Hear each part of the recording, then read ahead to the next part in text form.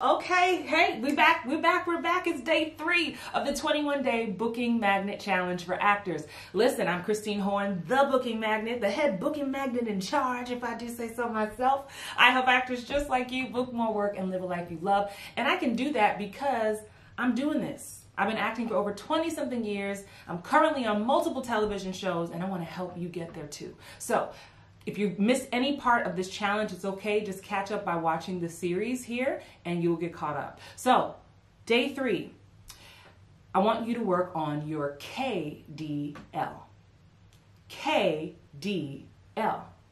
Okay, Christine, what's that? Yesterday we had the QDL. Well, today you have the KDL, and KDL stands for the keep doing list. See, you're not doing everything wrong.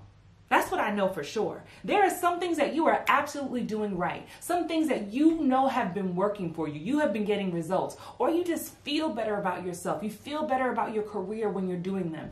I want you to take inventory and give yourself a big old pat on the back. Give yourself a round of applause for the things that you know are working. We're going to keep doing those. So I want you to take inventory because a lot of times it's real easy for us to pick at ourselves and think about everything we're doing wrong. So I'm challenging you today to think about what you're doing right and what you want to keep doing. For me, I'm going to keep creating full, deep, rich, exciting characters when I get an audition.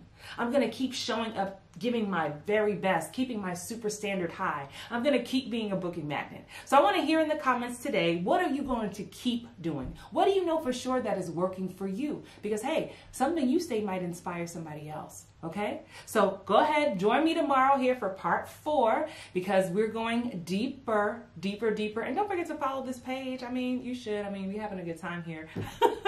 but anyway, I'll see you tomorrow. Bye.